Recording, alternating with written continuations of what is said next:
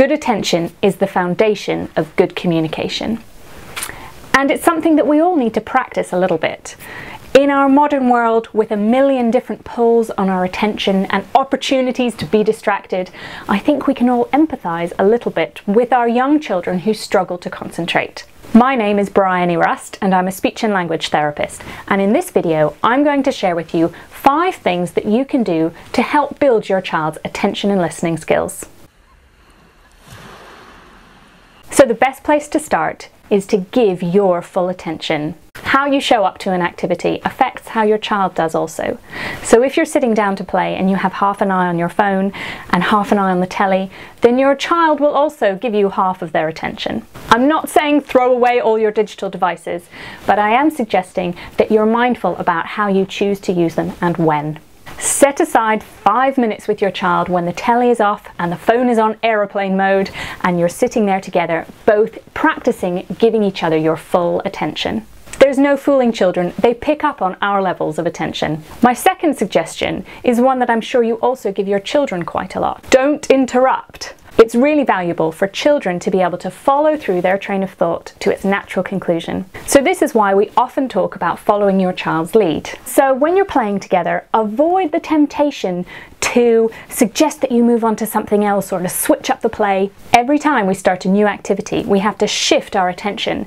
And this is a skill that our children are still working hard on when they're about three years old. So supporting our child's attention can be an exercise in patience for ourselves as we allow our children to develop their natural attention and focus. My third suggestion is to help them shift their attention.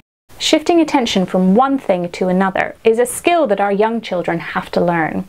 Even if it's as simple as focusing on building that tower and then shifting my attention to listen to what mum is saying, this is something that many children need help with, and you can help them to do so. In the early years, it's hard for children to integrate their visual information and their auditory information, and they can often only pay attention to one thing at a time.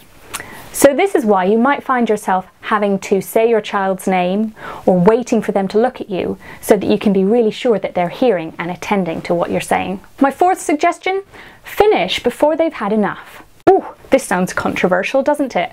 Here we are talking about extending their attention and concentration, and now I'm suggesting that you cut an activity short.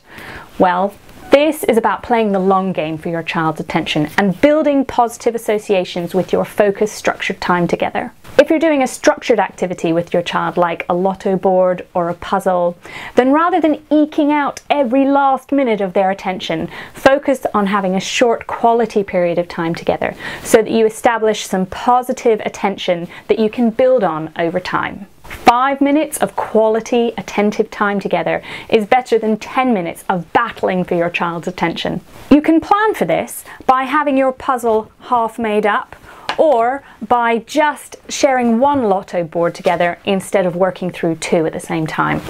You're tuned into your child and you know when your child's attention span is flagging. So when you sense this, you can take this as your cue to amp it up a gear for a final moment and say, let's just get one more done and then we're finished.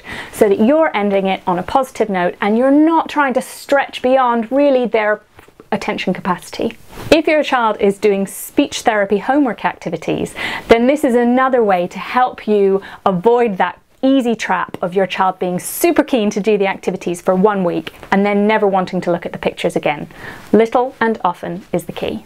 And finally, set yourself up for success. You know your child best, and you will have a sense of the best times and conditions to support their attention and help them be successful in focused activities together. Maybe they sit well after racing around the garden a few times or doing 20 star jumps. Maybe they attend well after they've had a nap or straight after breakfast. Try things out and see what works for you. Every child is different. So there's five suggestions for you to help your child build their attention and listening skills. Understand that your child first needs opportunities to follow their own play ideas and that later they may need your help to shift their attention. Focus on quality over quantity, good attention rather than lengthy attention, and you will be setting your child up for long-term success so that they can attend, learn and communicate. If you liked this video, share it with your friends and hit the subscribe button.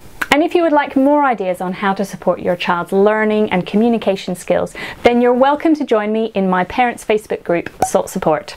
I'll see you there.